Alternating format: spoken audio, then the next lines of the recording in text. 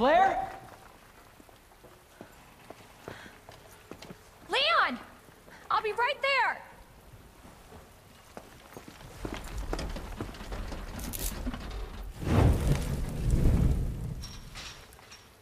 Come on. Leon, we really gotta stop meeting like this. Are you all right? Police chopper, it just came out of nowhere. Yeah, I'm fine. I take it you don't have the key. No, I don't. It's good to see your face, though. How are you holding up? I am hanging in there. Hell of a night, huh? Yeah. You find your brother? I did, actually. He's...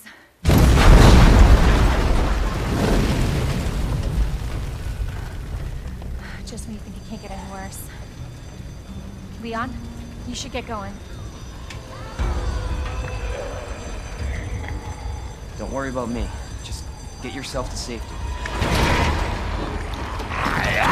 No, Leon, seriously, they're getting through the fence. Please, just go. We're gonna make it. Both of us.